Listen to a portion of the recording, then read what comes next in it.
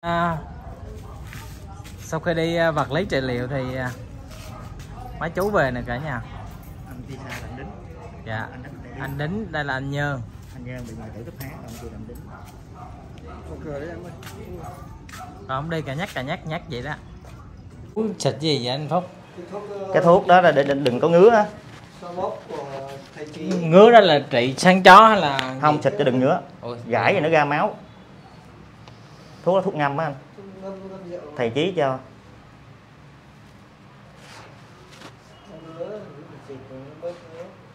À, trường hợp anh này là bị bệnh gì vậy anh phúc? À, dạ đây là anh đính là anh bị à, tai biến. Thì câu chuyện của anh đính là ba mẹ anh đính à, mắc thì cách đây có có hơn khoảng khoảng 2 tháng là thầy thích thiện chí có gọi cho em để đưa anh về lưu trú với nhà em anh bị tai biến ba mẹ anh mắc thì sau, sau đó là vợ anh cũng qua đời luôn. Dạ. Thì giờ anh không có chỗ ở.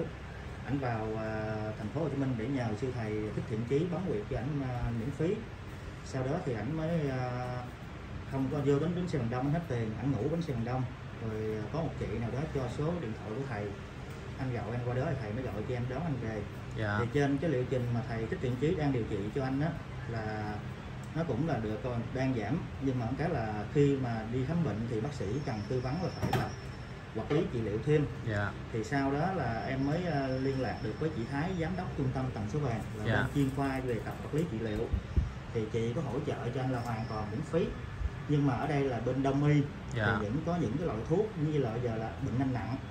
Là bên đây có tư vấn cho em á là anh bây giờ là cần phải mua thuốc để tiêm thêm. Có nghĩa là bên đông y thì họ chỉ tập vật lý trị liệu với là những cái thuốc đông y thôi. Ảnh là thì thuốc tây là phải tiêm thêm để cho nó mau hồi phục. Thì cái thuốc đó hôm bữa chị Thái cái tư vấn với em á nếu mình ra ngoài mua cái tiếp đó tiêm được một tháng á dạ. là tiêm cho hai anh em luôn. Là anh Là- Lính với anh anh Nhơn là thầy giáo một chỗ đó. Anh nhân là bên đây hả? Dạ. Là anh Nhân rồi năm cho bình thường đi anh. Dạ, anh Nhân này em cũng xin nhắc lại anh ha. Anh Nhân này là trước kia đây 21 năm anh là giáo viên dạy vùng cao. Rồi sau đó là anh bị bệnh viêm khớp. Anh nằm bất động một chỗ anh không đi đứng được. Dạ. Thì em nhận được cái thông tin từ chỗ anh trọng ờ, chạy xe ba gác. Thì em mới qua phòng trọ em đón anh về. Lúc em qua là anh đang nằm ở trên một cái sàn nhà không có đi đứng được. Em rước về chỗ em cũng được hai tháng rồi thì cách đây khoảng 2 tuần em đưa đi bệnh viện thủ đức khám bệnh. Thì có giấy chứng nhận cho anh là bị viêm khớp. Dạ. Thì bác sĩ mới nói là bây giờ nếu mà điều trị cho anh á phẫu thuật cái khớp háng cho anh là nó rơi vào khoảng 200 thì em thấy số tiền lớn quá. 200 triệu luôn 200 hả triệu lớn quá Dạ. thì em mới liên lạc với chị Thái giám đốc trung tâm tập vật lý trị liệu tần số vàng. Thì chị nói đưa anh qua đây. À, ở đây là chị bệnh chị chị bệnh là lấy tiền nha anh nhưng mà hai ca này đặc biệt. Anh Nhân với anh Đính là Dạ. hoàn cảnh đặc biệt nên là chị Thái miễn phí.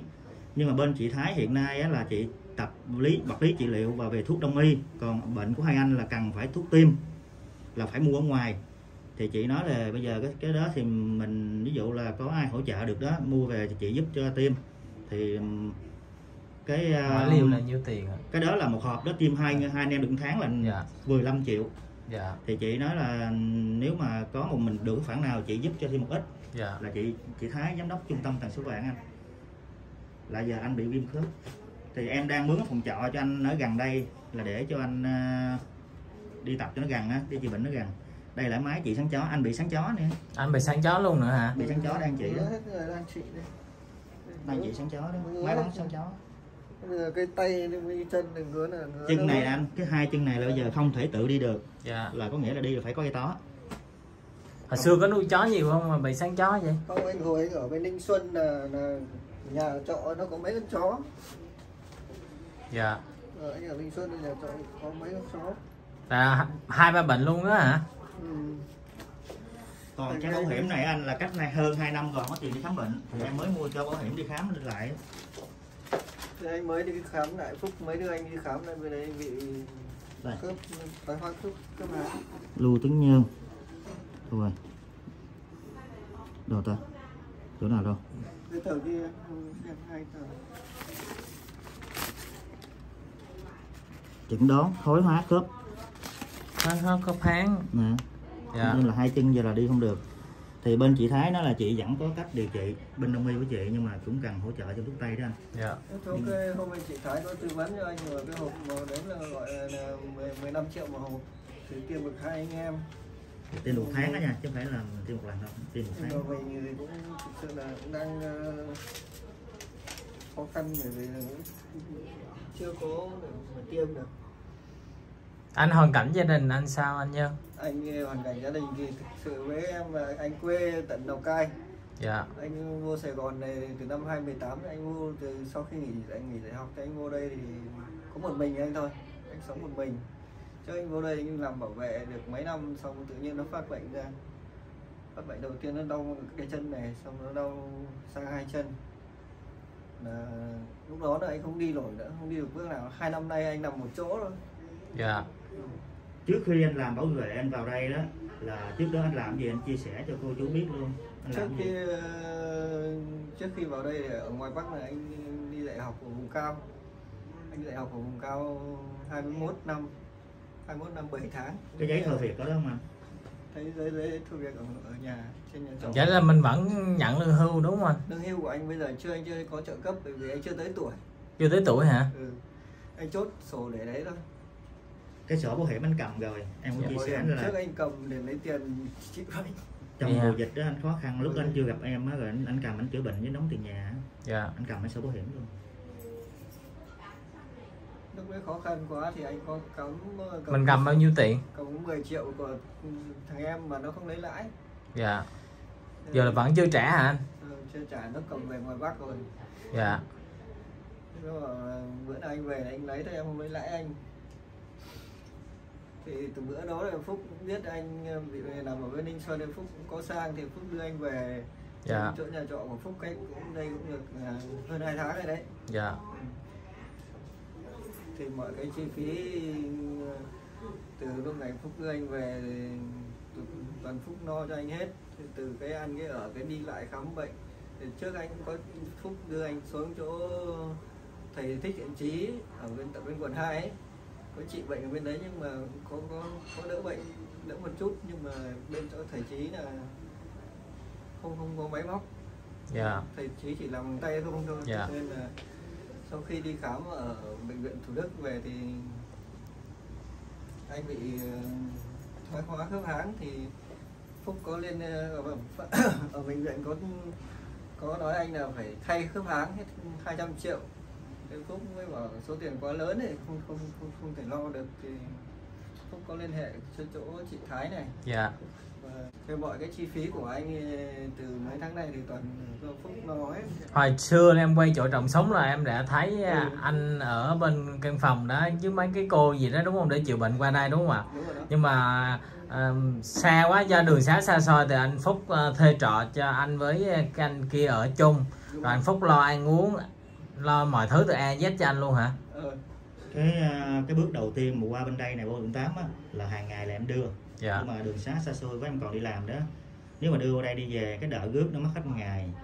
Và tính ra là đi đường xá xa xôi thì nó xa nó mất thời gian nhiều quá. Em mới qua đem thuê phòng trọ một tháng 2 triệu đặt cọc cho chủ nhà thêm một triệu rồi bữa em cho hai anh em thêm một triệu để à, ăn uống ở lại dạ. Em là hai ngày mới xuống một lần nhưng mà khi em xuống á, là hai anh em á, hà tiện lắm đâu dám đi chợ. Dạ. Nên là em phải mua đồ ăn em mang xuống nấu. Tại vì sợ, hai anh em sợ em tốn tiền á dạ. nên là không có dám đi chợ. Là anh Phúc chắc cũng có duyên với hai anh. Nên là kiếp này trả nợ cho hai anh. Đâu đâu phải riêng hai hai anh này không đâu. Dạ. nhiều nhiều hoàn cảnh lắm em ạ? Dạ. Trên nhà còn mười mấy người chứ. Ở trên nhà còn mười mấy người hả? Ừ, Dạ. nhiều hoàn cảnh trong hoàn cảnh. Phúc Nhưng- làm sao mà cũng hai, hai anh em cũng có duyên với nhau nhưng mà Phúc còn phải lo nhiều hoàn cảnh khác nữa. Nhưng mà từ à, ý nghĩ như thế nào mà anh Phúc à, à, làm việc thiện nguyện giúp đỡ những người nghèo người khó khăn những người à, à, không có gia đình những người không có nơi nương tựa cho anh Phúc? Dạ, hôm nay em cũng xin chia sẻ với ờ, quý cô chú anh chị xem kênh trên kênh Bình Định Chú Yêu ha. Cái việc em làm thiện nguyện á là hồi trước lúc mà em sinh viên á là gia đình em khó khăn em có nhà thì khi mà em cũng ở nhờ chỗ này chỗ kia khi mà em làm thì em gặp may mắn thì em mua được nhà em ở.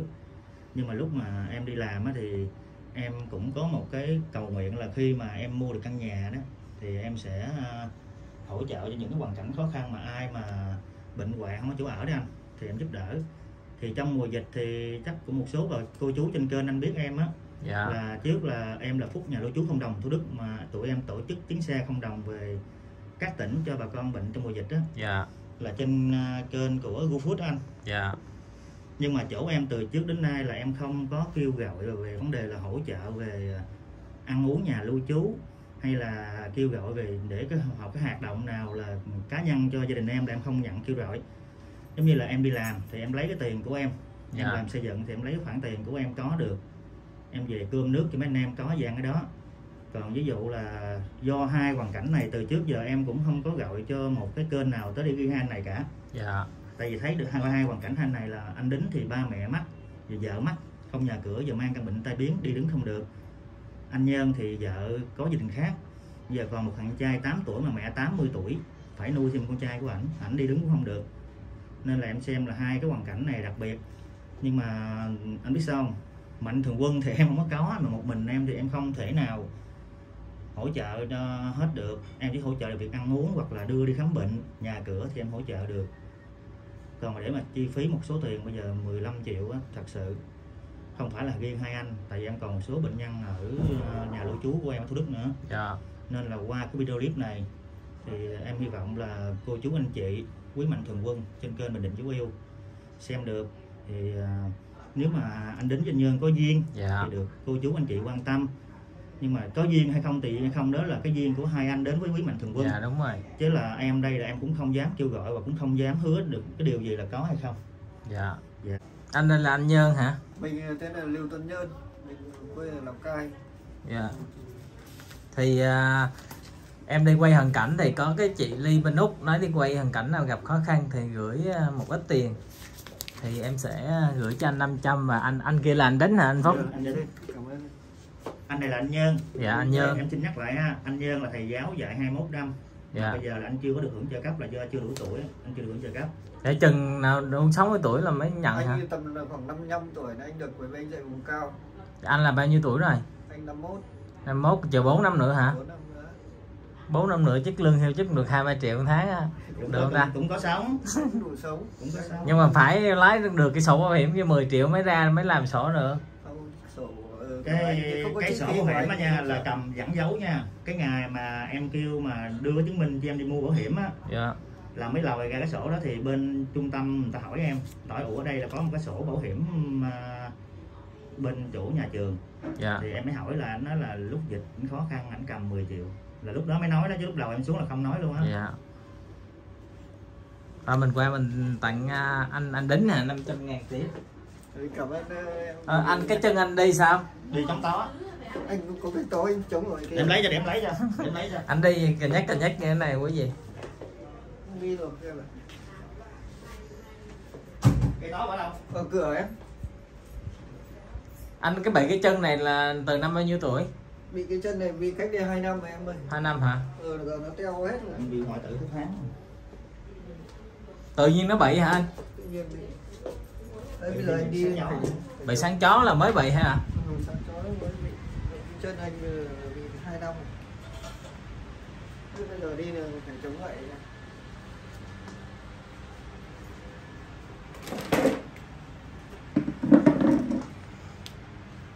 à, anh đến đây em gửi à, anh 500 ngàn để sinh hoạt ăn uống nha. À, tiền của chị Ly bên Úc. Anh em nay nhiêu tuổi rồi ta? 42 hả? Đúng hai. 42 tuổi độ bệnh số quá ha.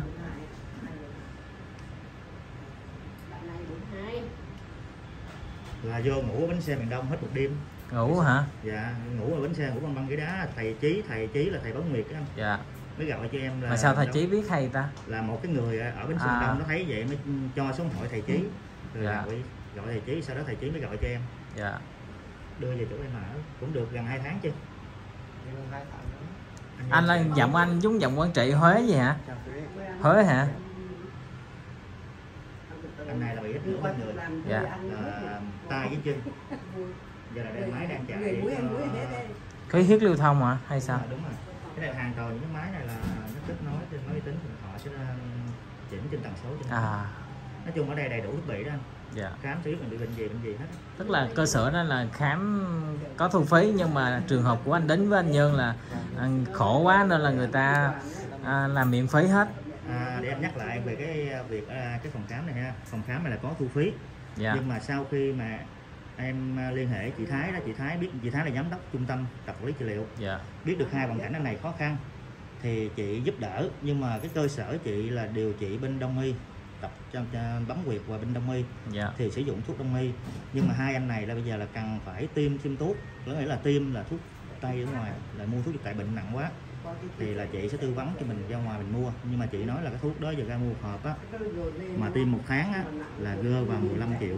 Dạ. Thì hai anh thì giờ đâu có ai đi làm được đâu mà có khoản đó. Dạ. Còn em thì em chỉ hỗ trợ được phần nào thôi. Tại vì đi xuống đây thì em cũng chi phí tiền nhà trọ và đi ăn hàng ngày tới lui nên là để mà điều trị um, cái khoảng 15 triệu đó đó thì bây giờ là nói chung thì nếu mà hai anh có duyên Dạ. được mà quý mạnh thường quân quan tâm. Thì nếu mà không có thì mình cũng đâu dám hứa trước gì đi. Dạ, về đúng anh. rồi, đúng rồi. Vì trước khi em đón về em chỉ nói là em hỗ trợ về việc ăn uống. Dạ. Còn khám bệnh thì em đi xin thuốc. Anh Phúc à, chở đi về nhà nè cả nhà. Sau khi à, sau khi đi à, vật lý trị liệu thì à, mấy chú về nè cả nhà. Anh đi xa bạn đính. Dạ. Anh anh đính đây là anh Nhơn. Anh Giang bị ngoại tử cấp hát anh chưa làm đính. Mở cửa đấy em ơi còn ông đi cả nhắc cả nhắc nhắc vậy đó. Ờ, tai biến. Và đây là căn nhà trọ của anh Đính và anh Nhơn nhìn nếu như nhìn anh anh anh, anh Đính như thế này đâu biết anh bị bệnh đâu đúng không? Đúng rồi. Đi mới thấy nhìn thấy còn à, mặt sáng láng quá trời luôn. Nhưng mà ở trên em hai tháng rồi em cũng có cho đi khám một lần rồi. Mà ảnh bệnh cách đây mấy năm rồi cái bỏ phí gì không có tiền bỏ phí gì. Bữa em cũng cho đi khám một lần. Dạ. đi khám xong rồi cũng cho đi qua bác ba chầu ờ, xin thuốc gì uống.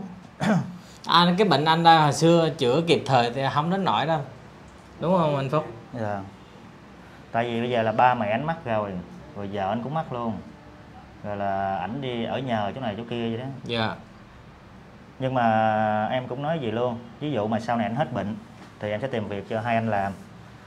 Còn nếu mà trong thời gian mà điều trị mà không đủ điều kiện để điều trị á mà không hết á, thì em cũng cho về cho anh em ở. Dạ. Em vẫn tiếp tục em tại vì hai cái hoàn cảnh này so với em nhìn nhận là hai cái hoàn cảnh mà đặc biệt mà để em có có thiện cảm nhiều nhất và em cũng xin qua đây qua cái kênh của Bình Định chú em em cũng nói luôn là em có nhà lưu trú ở Thủ Đức không đồng. Mấy mà cô chú anh chị mà nào mà đi khám bệnh ở thành phố Hồ Chí Minh á dạ. mà để mà giảm chi phí à, về cái tiền thuê trọ đó anh thì cái ghé chỗ nhà lưu trú không đồng Thủ Đức của em. Đây là chợ đầu mối thủ đức đó quý vị. Đúng rồi là hoàn toàn em miễn phí em luôn cả ăn uống luôn. Dạ. Là em miễn phí. À, về cái việc chi phí ăn uống đó nhé là em không nhận kêu gọi. Dạ. Là miễn phí còn ví dụ là anh chị có duyên với à, mạnh thường quân á thì mạnh thường quân có cho có duyên có cho hay không á là đó là tùy duyên. Còn riêng về riêng về ăn uống nhà lưu trú em là em không nhận kêu gọi về việc ăn uống. Dạ. Còn à, ví dụ cô chú mà có gọi qua số điện thoại của em mà để mà cho báo với em là để lên mà ở um, nhà lưu trú cộng đồng của em để đi trị bệnh á số điện thoại của em là 0987 dạ. 111 227 cô chú cứ gọi cho em để giảm chi phí trong thời gian khám bệnh. Dạ. Và sẵn đây à, em cũng xin nhờ anh luôn em có cái kênh à, YouTube Thiện Tâm YouTube. Dạ. Nhưng mà cái kênh của em có được hơn ngàn người đăng ký à mà kênh em chủ yếu là em muốn ghi lại những cái hình ảnh mà anh cô chú anh chị khó khăn để em lưu là để làm kỷ niệm sau này. Sau khi các anh hết bệnh đó là em à, đưa cho các anh xem để cái Dạ. kỷ niệm. Thì cô chú anh chị à, trên kênh Bình Định Dấu Yêu ủng hộ em kênh à, Thiện Tâm YouTube ủng hộ Dạ. cho em có cái động lực em ghi nhiều hình ảnh hơn. Cảm ơn anh Bình Định nha. Ủa, chú xịt gì vậy anh Phúc cái thuốc đó là để, đừng có ngứa á. Xoa bóp của thầy chị ngứa đó là trị săn chó hay là không xịt cho đừng ngứa. Gãi rồi nó ra máu. Thuốc đó thuốc ngâm á anh. Ngâm ngâm rượu thầy chí cho.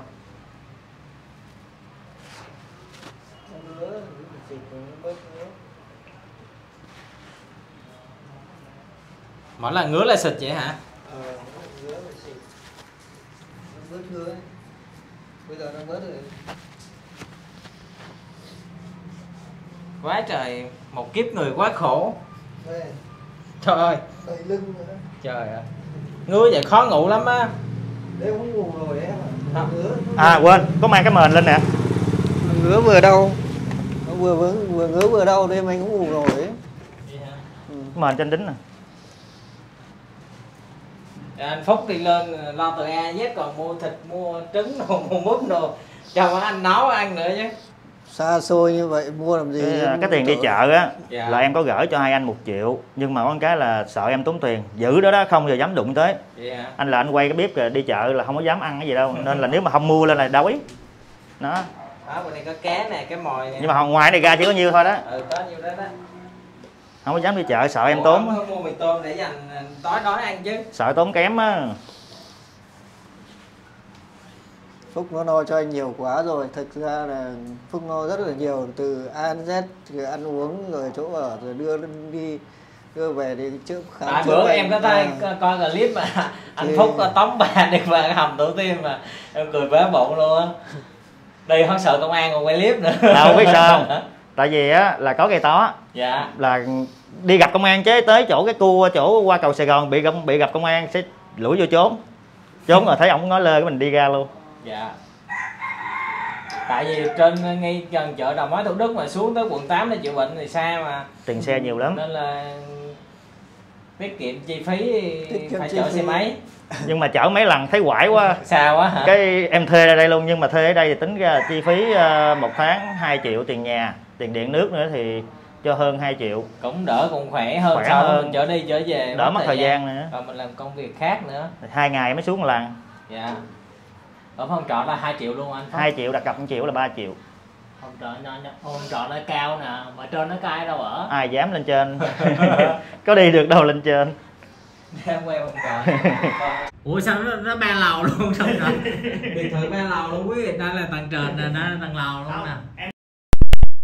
Cái cô chú ở tỉnh chiều nay lên. Em mới thuê thêm cho lên ở đây luôn đi đừng tốn tiền nè. Người ta đi đâu được đâu lên lầu. Vậy hả? Đi đâu được cũng lên đây tập vật lý trị liệu.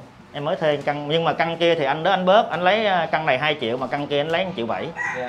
Anh thấy hoàn cảnh khó khăn cái anh bớt cho em 300 cũng kế bên chảy dính với mấy phòng này luôn. À, được chiều cao á nó đỡ đỡ nóng hơn mấy cái Đúng rồi, nó khác, mát. thấp lắm. Nó- căn khác là nó tới đây là hết rồi anh phong. Dạ. Chứ không được lên cao đâu. Nhưng mà phòng chợ này lâu lắm rồi. Nhìn nó lâu rồi. Được cái đường đi rộng nhưng mà ở thành phố giá này là cũng tốt cũng rồi. tiện đây chỗ đây có phía trước có một cái sân rộng sân rộng để để xe đồ cũng tiện nữa.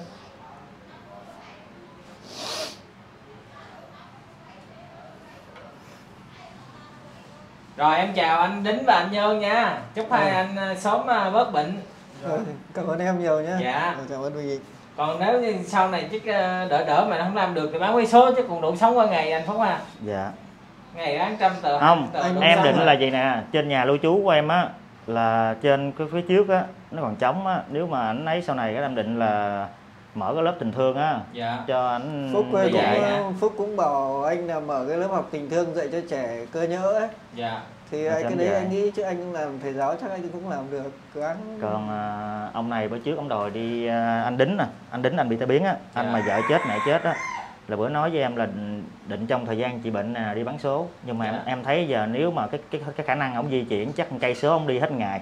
Dạ. Nên em kêu là thôi bây giờ gán chị thêm tháng nữa đi rồi có đi bán hả đi. Bữa giờ đòi đi bán số. Mà anh thấy anh đi anh đi gần nhích gần nhích đòi đi bán số chắc đi cây số hết ngày á là cái số ôm luôn. Dạ. Và bây giờ em xin phép kết thúc video clip tại đây. Hẹn cô chú chị vào một video clip tiếp theo. Mọi người xem nhớ đăng ký kênh ủng hộ Bình Định Dấu Yêu nha cả nhà ơi. thiện Và- tâm thiện tâm youtube nữa cô chú anh chị cho em có động lực Và kênh của anh Phúc là Thiện Tâm YouTuber. Kênh có ngàn máy sub của gì hết. ông có 3 tháng nay chưa ai đăng ký hết á Thì hôm nay em sẽ gửi cho hai anh mỗi anh một chai dầu gió của cô Mộng Lan ở Mỹ gửi tặng nha. ờ, anh cảm ơn Rồi, em gửi anh luôn à. Cảm ơn chị Ngọc Lan nhé. Dạ. thái thái giếng và có cô ly bên cô, và có cô ly liêu bên úc. Và có cô ly và em gửi cho anh một hũ vaseline nè. Ngứa anh thay lên cho nó khô lắm. Của mỹ á, của cô ly liêu ở mỹ gửi. Anh cảm ơn em Cảm ơn anh cứ thoa lên người á cho nó khô.